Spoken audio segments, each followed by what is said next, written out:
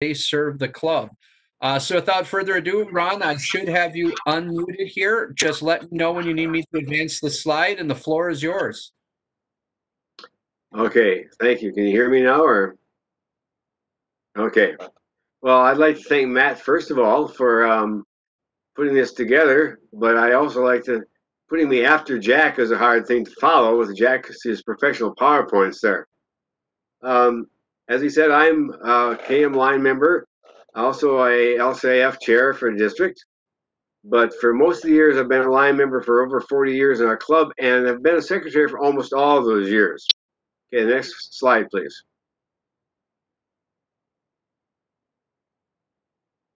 This next slide, Matt.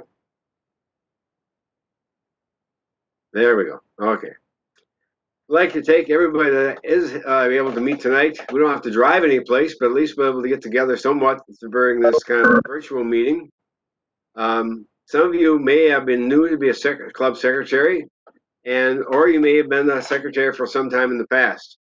I know that um, it takes some time to learn some of these things because I go back to the times when we did everything by paper and had to send them in and carbon copies and things like this. And throughout the years, it's changed a lot. Okay, next slide, please. Okay, the Lion secretary training. Why secretaries are the lifeline of the club, really. Um, we'll be discussing many of the roles the secretary plays. You're kind of the glue of the club to fit things together. While presidents talk about philosophies and attitudes, secretaries are the planners, the detailers, and the kind of the worker bees of the club. We kind of hold things together, I think. Um, you know, uh, we talk about secretaries as being a position that maybe is going to be a one-year position. Usually, they're there for a lot longer because of the fact that sometimes it takes a little uh, longer to learn the training, and once you're comfortable, then uh, nobody else wants to take the job because you're doing a good job for it. Okay, next one, please. Um, presidents come and presidents go, but good secretary go on forever. Uh, and that's kind of true a lot of places, I think. Um, luckily, our club has had a situation where we've had a turnover presidents almost every year. We have the president, first, second, and third vice presidents, and we have a good rotation, which is a good idea. Not so much in the secretary position. We've had that pretty constant for a long time. But the role of a secretary can be a very good role if they're doing a good job. A good secretary can make a club look good because they report what they are doing. The club may be doing a lot, but if they're not being reported, it doesn't look anything. A poor secretary can make a club look bad because it looks like they're not doing anything. They may be doing a lot of things, but uh, it doesn't get reported. Um, as a LCIF chair, I get to get the reports of what was called the um, kind of a assessment of clubs, and you see some clubs that, man, they don't do anything at all because the secretary is not reporting it. They're active when I go to meet with them, but the secretary doesn't let them do that. Okay, next slide, please. Okay, the club secretary is a connector. They're a connection between a lot of different groups. They have their local club, but they connect with Lions Club International. They do that on a monthly basis with some of the reports. They collect, they connect with the multiple district things that come down from the multiple. They definitely collect, uh, connect with the 5M1 and actually their zone and their club members. As many times as um, secretary themselves that have the information between club member to club member. Uh, they keep track of what's going on with their members. They keep track of attendance with their members. They keep track of uh, membership as far as their uh, when they join, things like this. So you are the person that connects a lot of those things together. Next slide. Okay, you are also the recorder. This is kind of one of the main things. Um, recording attendance. Uh, we keep attendance at all board meetings or activities or regular club meetings. So one of the first things I try to do is I'm always writing down who's there. Even though we have a sign-up sheet, sometimes somebody comes a little bit late, they miss the sign-up sheet. I want to make sure I know who was there for their attendance. We have an attendance policy that if you attend at least one event during the month, you can qualify for your perfect attendance award. You also uh, record membership applications. When a new member joins, you're the one that gets the application or you're the one that has to turn it in. It used to be one of the situations where you had to send things in manually. Now, with a couple clicks of a mouse and um, typing up some information, you can record a member very, quickly. So that's um, part of your deal. Recording is that membership application. but you also remember or record what goes on. You're taking the minutes at the board meeting. Our club meets a board meeting once a month, and then we have a regular club meeting also the second time of the month. So at those meetings, I'm the ones responsible for seeing who was there and what went on, keeping records of those things. And those records become very important for later on. Somebody says, well, did we vote to do this or did we vote to do that? Or how much did we spend on that or how much we spend on that? And sometimes it has to go back one month or two months or several months to find out exactly what happened to meetings. Because you are the one that are saying, yes, we did agree to spend this money or we did agree to do this project. You're kind of um, keep all the records for that. The next thing is the club activities. This is where your club is very important as far as what is your club doing. Um, how many members were there? With the new recording system, you have to give how many members were there, how many hours were there, what did you do, how many people did you serve? That's some of the things we're doing now. So recording what your club is doing is activities. Another thing is their donations. Did you donate to the LCIF? Did you donate to the Hearing Foundation? Did you donate to the diabetes? Did you donate to any group locally? Those donations are also counted for what your club is doing. So keeping track of those things as well. And the club should not have any donations unless it's been approved by the club itself. So that's where your board minutes have to go along with your donations. Gee, did somebody spend money? Well, did we approve that or did we not approve that? That's when you go back to the board minutes. That's when you go back to the secretary's minutes. You become a very vital person for verification of what we did or did not do. Next one, please. You provide information. Uh, it used to be you had to write up all those things longhand as far as your membership lists and the addresses and emails and things like this. Sometimes I still do those because some people want to copy those. But, but doing so many things now on the internet, all that information is basically available when you go, you log into the um, website because that have the, all your members are listed there. And a lot of members say, well, I don't know my membership number. Well, you know that as a secretary because you can look it up on the website. You have all the phone numbers, the email addresses.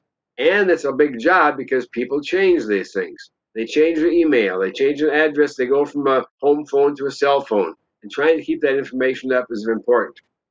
Also, people say, well, how long have I been a member? When did I join? We had um, one of my members ran for district governor. He says, gee, when did I join? Who was my sponsor? How long have I been a member? He wanted to have a resume and he didn't know, but the secretary knew because you can go back to those records. They also know who the person sponsored for. So this information also comes back as when you sponsor a member, LCIF will, I mean, LCI will send things back to you as far as rewards for sponsorships, rewards for things like this. So you have a lot of information at your fingertips that you can find out for members and for the club. Okay, next slide. Okay, you are the communication person. Um, we have a PO box for our club, and I have the key to that. So any information that's coming to the PO box, I get and report to the um, the club at our board meetings. A lot of times it's thank you notes. When we give money for the Parade of Green, we get a lot of thank you notes back from the various organizations. So I bring those to the club meeting. As Jack mentioned before, having an agenda. One of our agenda items is after the secretary's report, after the treasurer's report, is correspondence. Did we receive any correspondence? Sometimes a request for help, sometimes just a thank you note. And when you do things or you have done, people do things for you, sending out those things or correspondence or um, other things. That's kind of the secretary's report as well. Thank you for the donation somebody gave to you. You also are the person that can easily order club supplies and awards. So that again is um, part of the new website where you can easily go on and do those things. Again, a lot of times they have to be approved. We do a Lion of the year every year. We do um, uh, other things like we did a Melvin Jones this year. We had a Helen Keller this year. I ordered all of those. So the secretary has avail availability to get those. Next slide, please. Okay, they report. They do a lot of the reporting. They report membership join um, joins and drops. Every month, if you have a member join or you don't have a member join, you're supposed to report. There's a part on there you can just report, well, no activity this month. Or when you have somebody join, you put that in and that becomes a record. And if somebody passes away or somebody drops your membership, you have to report that as well. It's a lot easier now, actually, once you get into using the system, the online system, it's a couple press of a couple buttons and you can do some of those things. Okay, the next part. They report the officers to LCI and the 5M1.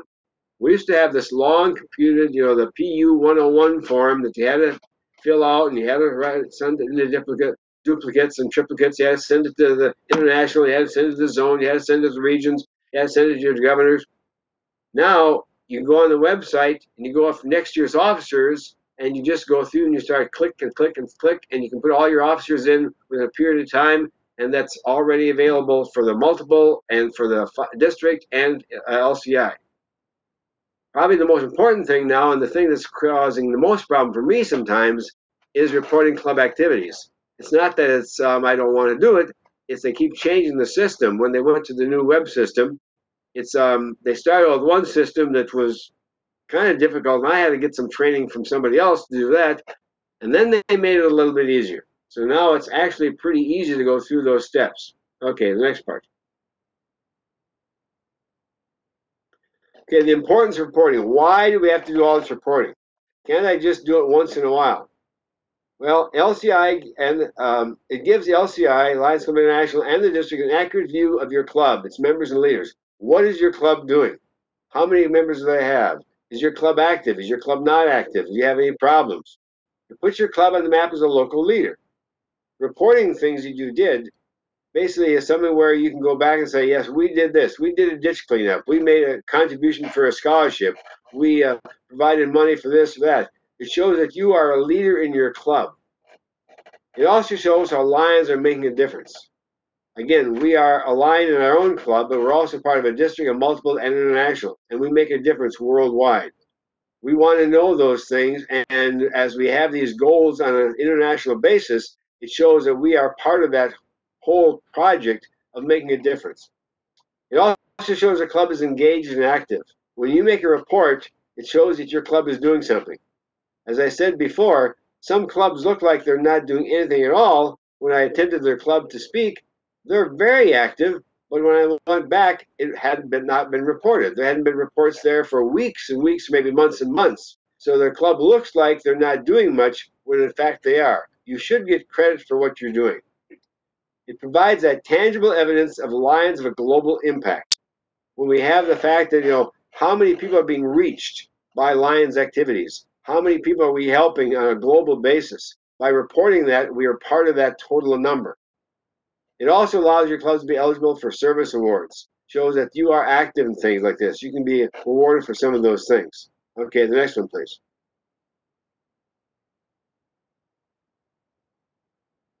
Okay, how to report. Again, as I said before, it used to be a lot more difficult, I think, in some ways, but you got used to it and I'm not a person that really uh, uh, likes a lot of change. Well, it was working the old way. Why did we have to change? I knew how to do that way. Why do you have to keep changing and now I have to learn something new? It's like when I get the computer and it says updates. I don't want updates. I want to do it the way I did before. But all reporting is now on the internet. If you don't basically, if you're not internet or computer savvy at all, you probably won't be a good secretary. You're going to have a lot of problems. Okay, to do it, first of all, as secretary, you have to go to the Lions International website, LCI website. Then on the top of that, you'll just say click in and you have a member login. So as a secretary, you may have to get that as far as out your new member login is or open it. Um, once you've reported that you are the secretary, then you'll be able to get into that area. The next screen that pops up after that, after you've logged in, gives you five different options. Take a look at that screen. It'd be a lot easier if I could just regularly show um, opening up my activities, but I've tried to create the same thing. On the top, you'll have my LCI, my Lion, Shop, Insights, and Learn. These are all a little bit different as far as what they give you. The first one, my LCI, that's basically where you have all your club information. It also is where you go to to report um, membership. Even if there's no change, you go to that place to report no membership change, or if you add a member, or if you drop a member. All your membership information is there. All the names, all the addresses, all the numbers, all the various things you have under that area. So if you need that, that's where you go. Okay, the next one over is My Lion. This is the area you go when you report activities. It used to be all in the same site. It's no longer like that. My Lion is when you give money, when you have activities, when you do something, and the something can be meetings, it can be um, activities where you're a fundraiser or your service activity, you're doing something or again, uh, donations. Shop is pretty self-explanatory. It's basically where you go to um, order something for your club. The next one, basically, the next two I really haven't used much insights. Uh, when I went there, it shows graphs of trends of membership, service activities, and donations. It kind of gives you a breakdown of what your club has done over the period of time. Are you, have you had a real spike in membership or has been level? Have you done a lot of activities or donations, things like this? And the learn part, you can spend a tremendous amount of time learning more about Lions. It has a tremendous amount of resources that you can take free online classes. But as far as the secretary, generally, the first two are the ones we use the most My LCI and My Lion. Okay, the next one, please. Okay, at the top of the page, you have home. I'm in my Lion. I'm my LCI right now. Home, my Lions Club, my district, my multiple. And below that, you have the club name, your club number, which some people don't even know they have a club number. It gives you the district, Minnesota, United States, things like this. So this is some of the information you have at that point. Um, it will give you when you're chartered. Um, if you're not a charter member, you think, gee, I don't know when our club started. This information is provided for you right there. It'll also give you your tax ID number and things like this. Um, under uh, your Lions Club, you'll have your club officers, um, report new officers, a place you can do that. You can check past officers. And I didn't know this until recently. There you go. Thank you. Um, you have a lot of this information available. The first part is all your members are there. Your names or addresses, the, um, the date they joined the club information, the name of your club, the charter date, all that things like this. Your current members, and this is where you report your new members, think, well, I wonder who our president was three years ago. You can go, go back to past officers, and when I went back there, it went back 18 years. I could go back to who the president was in 2005, who the president was in 2010, and sometimes think, well, who was that guy? And you go back and do those type of things. So it's very information. There's a lot of information here available for you to do a lot of those things. Okay, next one, please. Okay, so we go to my members. Um, report new members, that's the easiest thing. Again, uh, you have to know who the sponsor was. Um, you can do three different things. Report new members, report no changes in monthly membership, or drop members. And um, again, reporting members is filling out the information, their name, their address, their telephone numbers, their spouse, all the various things, who the sponsor was. And then you'll be able to pick out on the side there who the sponsor was, and you click on that person. And then if you have to drop a member, you just go to their name, and there's three different things on the side, and you can drop, and then you should say why they drop, things like this. In this last year, we had two members that passed away, and we had a couple members for various reasons that did drop memberships. We've got some new members ready to come in, but it's a little harder right now because we haven't been able to meet. So the last person who's going to come to the meeting, well, needless to say, we didn't have a meeting. So I think all clubs are dealing with that right now. It's going to be hard to get new members until we can start meeting again. Okay, next one, please.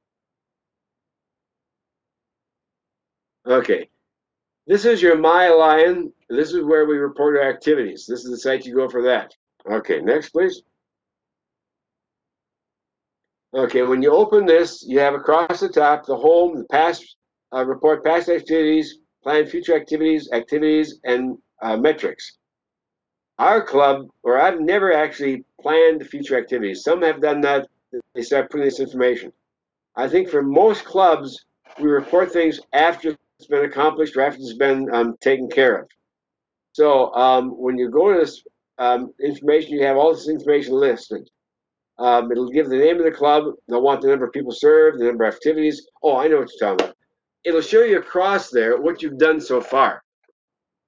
It's really amazing when you start putting all this information in that you find, gee, I don't know, we've served, you know, 75 people or 500 people or some of that. We've had, you know, 15 service activities or 30 service activities. We've donated so much amount of money. It'll list that right across there and give you kind of a snapshot of what your club has done. And it's really good sometimes to show this to your club to see, you know, what have we done? How many people have we reached out here? How many people have we done? Um, yeah, like sometimes it's a little difficult. We had a ditch cleanup last night. So how many people did we serve in the ditch cleanup? Well, that could be a good question. You could say I can put back you know, there's a thousand people that go by that. Probably not realistic. So you kind of have to figure out what's maybe a reasonable amount. Think, well, maybe we served 20 people because they live up and down the road. We cleaned up the ditches. Kind of have to play with those type of things. Some of these are kind of hard to figure out exactly what to put in. Okay, next one, please. Okay, usually the club reports things after it's done. So what you go to is you'll report past activities because you've already done the activity. Okay, report with club meetings. It could be um, zone meetings, conventions, workshops. So if you meet someplace, you can report that. I reported because we had a Zoom meeting for our board a couple weeks ago, or last Tuesday. So we didn't have a um, in-person meeting, but we did have a, a board meeting. So we had I think 15 people at the board meeting. So I recorded that that we held the meeting. If you send you know four people to a um, zone meeting, if you have how many people attended the midwinter convention or a, or maybe an international convention, um, the workshops or um, the fall forum, how many people went to those things? Reporting that your your club is active, they're involved, they're going to places, they're doing things. Okay, service activities. Naturally, these are the things you want to report we did a uh, ditch cleanup. That of thing we did now. We planted some trees recently. That's one of the things we did. Um, anything your club is doing. Our club tomorrow, my team will be putting up flags for Memorial Day. That's an activity after I find out how many guys were served and we how many people had slaves were put out. I report that. Donations and fundraising. But the key part of a secretary is make sure you report. Your club's doing something make sure you report it. It shows that your club is an active club, that you're doing things. That's the main thing you want to do. It's very important as a secretary to make sure that you you're the key, that communication, that let everybody else know that our club is an active club. We're doing things, we're meeting, we're sending people to activities, we're involved, that type of thing. So make sure you report it. If you don't, it doesn't look like your club's doing anything. Next one, please. Okay, so we start out first of all, you go on that screen that says report past activities and it says unreported activities. Well, because you haven't reported it yet, you have to hit the report button. And that's on the top right, and you hit that one, it goes on to the next thing. Okay, next next one. Okay, we'll show you first of all some of the same things. Activity level, which is your club. It'll show you your multiple, show you your district, and it'll show you your club name. And this, they just kind of pop up there by yourself. You go on to the next part. Okay, then the creator would be me as a secretary, or whoever the secretary is, your club, your name will show up. Then they want to know activity duration. Was it a single day deal? Like our, our ditch cleanup, that's a single day. Sometimes we've held a, um, a food stand that maybe go on for three days during an activity. So maybe multiple day and then they'll want the date. There's usually a calendar box. You figure out the calendar over there, you click on that, where it was. And then again, the activity. It was a service activity, a fundraiser, a meeting, or donation. You click the appropriate box there. And then you, you go on to the next part. Signature activity. One of the signature activities we did, can you go back? Well, there you go. Um, we have bingo every month, actually twice a month at the Senior Citizen Center. At least we were doing that until we weren't allowed to go in there anymore. So that was one of our signature activities. The same thing as our flag program. We'll put up flags Memorial Day and Flag Day and Fourth of July and Labor Day, so it's a signature activity for us. And then the causes: it's hunger, environment, childhood cancer, diabetes, vision, and others. A lot of these will be others. Well, I'm going to use the environment, so our ditch cleanup is going to be environmental. When we planted trees last week, that's environmental we gave money to something called the Place at the Table, where they provide meals once a week at a local church. We donated to that, so that's hunger. Um, during the Parade of Green, we did things for a diabetes. We contributed money there. We contributed money to vision. So it depends on what you want to, which one you want to click on. Okay, next part. Okay, um, once you decide what you did, then this prototype will come up. It'll be it'll be different categories depending on what type of thing you did. But one of the things I want to know is number of people served. Okay, we donated $150 to this place at the table. So I'm assuming they're going to have at least, it's going to serve one meal for this evening, and they have between 30 and 40 people come. So I'm going to put like maybe 35 or 40 in that area. Total volunteers. We have had Lions go down and prepare the meal. This time we didn't.